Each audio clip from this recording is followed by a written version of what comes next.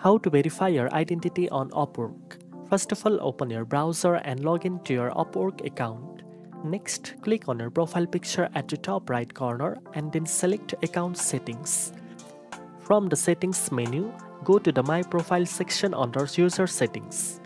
Scroll down and under the Verification section, you will find the Verify Your Identity link. Click on it to start the process.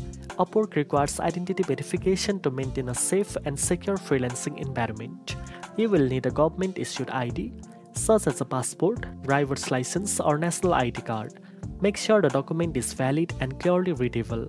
Follow the on-screen instructions to upload a clear scan or photo of your ID.